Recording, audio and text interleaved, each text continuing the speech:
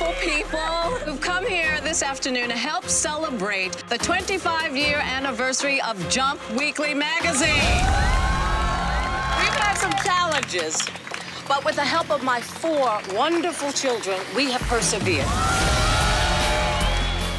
We are being plotted against. We're always being plotted against. You just haven't been around to see it.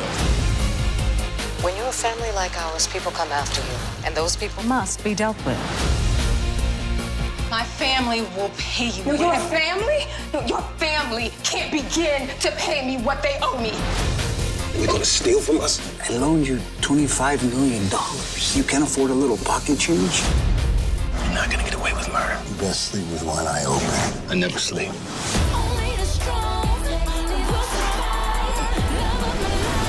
Together is how we survive.